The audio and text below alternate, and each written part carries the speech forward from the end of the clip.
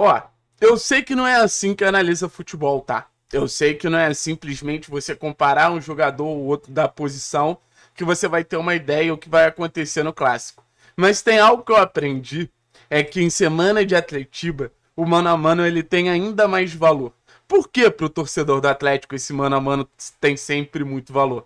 Porque muitos absurdos já foram proferidos pela grande imprensa, valorizando os jogadores do Curitiba e desvalorizando os jogadores do Atlético.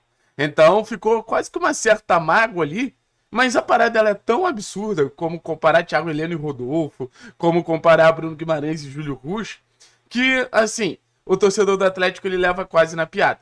Mas, no final das contas, a gente vai, pelo menos, sentir um favoritismo apontado pro lado do Atlético. E é normal que o Atlético seja o favorito desse clássico. O Atlético é melhor time, o Atlético tem mais elenco, o Atlético tem uma sequência de trabalho, não teve um trabalho interrompido como foi o trabalho do Guto no Coxa, que conseguiu manter o Coxa na primeira divisão, mas mesmo assim não permaneceu. Então, eu acho que tudo aponta para o Atlético, mas isso não significa nada. O Coxa vai usar esse Atletiba como final de Copa do Mundo. Ganhar do Atlético é uma final de Copa do Mundo para o Coritiba e todo mundo sabe disso. A distância dos clubes é muito grande. A maneira como o Coxa olha o Atlético é como rival mas um rival que tá aqui e eu tô aqui. Então qualquer vitória tem muito valor. Qualquer vitória é uma recompensa muito grande ao seu torcedor. Então o Atlético ele tem que entrar nesse jogo atento. O Atlético ele tem que entrar nesse jogo muito esperto para não abrir possibilidade de, de dar algum ruim ali. Tem que dar bom, irmão. Tem que dar bom. Eu já falei para vocês. Eu não acho impossível o Atlético ganhar esse campeonato paranense invicto. Óbvio que não tem como garantir nada, óbvio que não tem como cravar nada mas que a diferença do, do Atlético para os outros times é muito grande. E detalhe, eu vou fazer, sugerir um exercício para vocês, na real, não fazer um exercício, sugerir um exercício. Pensa se é exatamente esse time do Curitiba escalado no Cuiabá. Você ia ter algum receio? Se é esse time do Curitiba escalado no Goiás, você ter algum receio? Eu acho que eu sei a resposta, tá? Eu vou ser bem sincero com vocês que eu acho que eu sei a resposta. Então vou preparar aqui o mano a mano pra gente botar na tela. E vambora, porque realmente são muitas posições pra gente falar. Disputa no gol, né? Bento contra o Gabriel. Eu acho que a gente precisa reconhecer o Gabriel. Eu não tô aqui para ser clubista, tá ligado? Eu acho que a gente precisa reconhecer o Gabriel, um goleiro que chegou, ajudou muito o Coxa nessa permanência na primeira divisão, até porque o outro goleiro é o Muralha, então, assim, não tem muito o que fazer, mas é uma comparação que não tem nem sentido, cara. O Bento é um dos melhores goleiros do futebol brasileiro. O Bento é de uma segurança absurda. O Bento é mais jovem, sabe? O Gabriel rodou pra cacete na Europa e basicamente não teve oportunidades. O Bento, na sua primeira oportunidade, já é goleiro finalista de Libertadores, já é goleiro que, pô, participou de campanha de título de Sul-Americana, sabe? Então, assim, nem levando em consideração os gols que, que um ou outro vem tomando nesse início de temporada. Até porque eu acho que a, a ameaça aos gols desses dois goleiros diz muito pouco. Mas eu acho que no total, e eu acho que, que essa avaliação vai muito no total, mais do que o momento, o Bento, o Bento tá na frente, então, assim, 1x0 Atlético. Outra disputa que eu acho interessante, tá? Se eu errei a foto do Natanael, me perdoa, não conheço quase ninguém do elenco do Curitiba de face, assim, acho que eu acertei. Mas o Natanael é bom lateral. A gente elogia o Natanael aqui desde a Série A de 2020. Lateral jovem, lateral bom no apoio, lateral bom na construção. Mas acho que o, o nível que o Kelvin alcançou, o Natanael nunca chegou perto, sabe? O, o nível de competitividade do Kelvin, de semifinal de Libertadores, final de Libertadores, é, inclusive nos próprios atletivos, quem fazia diferença é o Kelvin, sabe? Então, assim, em algum momento eu, eu seria Natanael. Mas o crescimento do Kelvin ele é muito claro. O crescimento do Kelvin ele é, ele é muito óbvio ali para ter algum tipo de dúvida em relação a isso. Então, boto, boto o Kelvin melhor do que o Natanael e com alguma sobra, tá? Não quero ser muito clubista não, mas com alguma sobra. Essa disputa aqui é boa, que poderia ser Pedro Henrique versus Chancelor. Mas eu botei o Zeivaldo. E, e assim, o Chancellor é um zagueiro alto, um zagueiro de boa imposição, um zagueiro que para a altura dele, 1,90m e tal, tem até uma certa velocidade. É um jogador, assim, pro Coxa até interessante, achei uma solução criativa do Curitiba.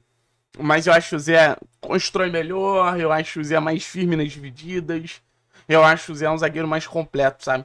Acho que a arma, a, o leque de ferramentas ali do Chancellor em vários momentos se resume muito ao jogo aéreo.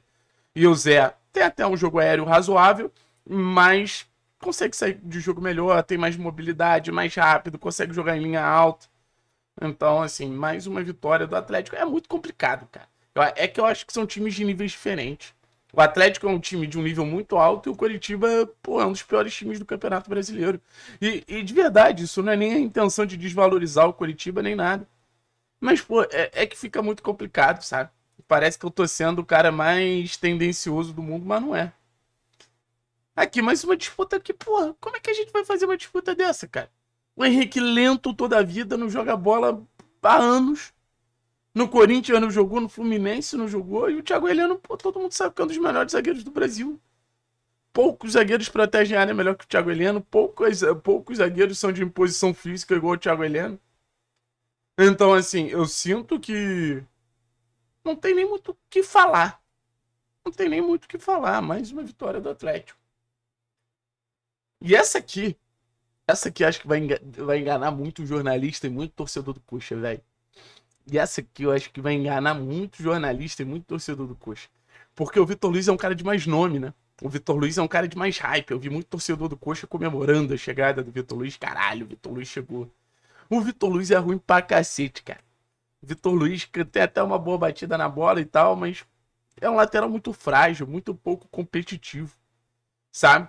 O lateral que se imaginava que ele poderia virar no Palmeiras, cara, dá para dizer que ele é 30% disso.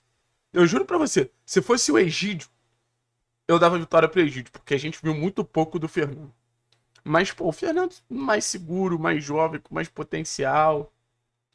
Veio de uma Série B bem consistente, sabe? Enquanto o Vitor Luiz, pô, se eu não me engano, caiu com o Ceará, enfim. Acho que perdeu pênalti tudo, inclusive posso estar falando besteira, mas para mim. Você trocaria o Fernando pelo Vitor Luiz? Eu não trocaria nunca. Inclusive, nunca gostaria de ver o Vitor Luiz com a camisa do Atlético. Quero deixar isso muito claro. Mas, vamos embora. Bruno Gomes e Eric. Essa disputa é boa. Essa disputa é equilibrada. O Bruno sempre se mostrou bom jogador desde a época de Vasco aqui. Eu já já trabalhei em alguns momentos ali com o Vasco e o Bruno tava subindo, era sub-20 ali, volante com bom toque de bola, bom controle de jogo, chega bem à frente, sabe? Jogador que Assim, eu nem sei porque tá no Curitiba. Não deu certo no Inter, acho que poderia estar tá num clube melhor, sabe? Mas o Eric, pô, assim, noção de cobertura absurda. Um jogador protege muito esse jogo do Atlético, tá ligado?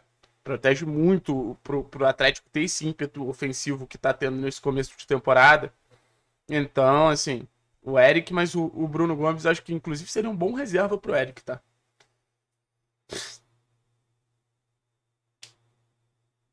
Vai dizer o quê, cara? Ah, Jesus Trindade jogou no Penharol, jogou no futebol mexicano, começou bem, mas vai dizer o quê? Tu conhece algum poupa-tempo maior do que esse aí? Não tem, né? Não tem, assim, não tem nem o que argumentar. De verdade. Eu me sinto quase ofendido tendo que argumentar que o Fernandinho é melhor que o Jesus Trindade é, é, muito claro, assim. O, Jesus Trindade nunca chegou perto do nível do Fernandinho. Eu, eu, vou passar essa aqui e eu vou ficar puto com essa aqui também, tá? Porque o, nível que o Teran está jogando, e o, assim, todo respeito ao Marcelino, fez uma jogada bonita ali, mas o cara tomou esporro até do próprio técnico, cara. O Marcelino conseguiu tomar esporro até do próprio técnico. Gente, futebol da MLS é lotado de gringo. Lotado se esse cara fosse isso tudo que fala, você acha que ele teria vindo pro futebol brasileiro? Enquanto o Terence, cara, assim, é um show por jogo, né? Enquanto o Terence é um show por jogo, é, é, é, um jogo acima da média, atrás de jogo acima da média, não dá nem para descrever o que é Davi Terence. A gente só sabe que é, que é mágica, que é, porra, eficiência, capacidade de decisão. Já são oito, não, já são seis participações em gol na temporada. E assim, eu tô doido pra ver o, o, o Terence depois de provocar o Coxa comemorar um gol no Curitiba, cara. Vai ser divertido demais, assim. Tomara que o Terence consiga fazer gol. E não que o Marcelino não possa vir a ser uma boa peça pro Curitiba. Acho que pode, é habilidoso e tal. Bate bem na bola. Não sei. Não entendi ainda taticamente ali se ele vai ser esse ponta caminhando de dentro para fora ou se vai ser mais esse meia. Eu acho que, que em algum momento o Coxa, até por necessidade, vai ter que jogar com três volantes, tá ligado? Mas enfim, essa comparação também é, é brincadeira. Hoje o Terães é comparado com a Arrascaeta, com o Veiga, um cara que cada vez mais completo, cada vez mais importante ali pro Atlético, potencializando seus companheiros, fazendo o jogo dele também, cada vez mais artilheiro. Então, assim. Essa disputa, se fosse ano passado, a resposta ela seria diferente, tá? Essa disputa, essa disputa, se fosse ano passado, seria Aleph Manga com certa tranquilidade. O Manga começa bem, fez seus golzinhos, já tem três gols na temporada. Mas não tem como, cara. Canal de 2023 participa de gol todo jogo, é importante pra cacete pro, pro, pro esquema todo jogo. Sabe, pressiona maravilhosamente bem, participa de gol a rodo. Pô, assim, com todo respeito Aleph Manga, acho bom atacante. Acho que, inclusive, é o, é o verdadeiro protagonista desse coletivo. É o cara que, que mais destoa positivamente quando o assunto é, é, é capacidade técnica. Ano passado foi, pô, importantíssimo. Mas, pô, o Canóbio de 23, o Canóbio em geral é superior ao Manga em geral. Mas o Canóbio de 23, pô, ele é titular absoluto do Atlético, o Atlético é muito melhor que o Coxa. Então, assim.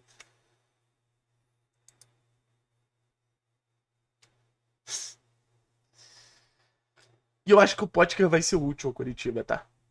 Eu acho que o Potker ele vai ser útil ao Curitiba, mas é não tem a habilidade do Coelho, não tem a capacidade de drible do Coelho, não tem a capacidade de, de criar situações ali do Coelho, sabe? Pode que para time reativo acho muito bom. É um cara que vai aproveitar ali corredor, vai ser um desafogo importante, consegue marcar alguns gols, o ponto, o Potker te garante pontos ao longo do campeonato. Mas enfim, não tem como. Não tem como, eu tô eu tô até com pena assim de fazer isso, cara, mas não tem como. Por enquanto, 10 a 0 Atlético. De quem é a barba mais bonita? A minha ou do Rodrigo Pinho? Fala na moral. Aqui, ó, de ladinho, pra, pra, pra vocês terem noção. Se o assunto fosse barba, eu acho que o Pinho ele ganhava do Pablo, até porque o Pablo, inclusive, tá ficando calvíssimo.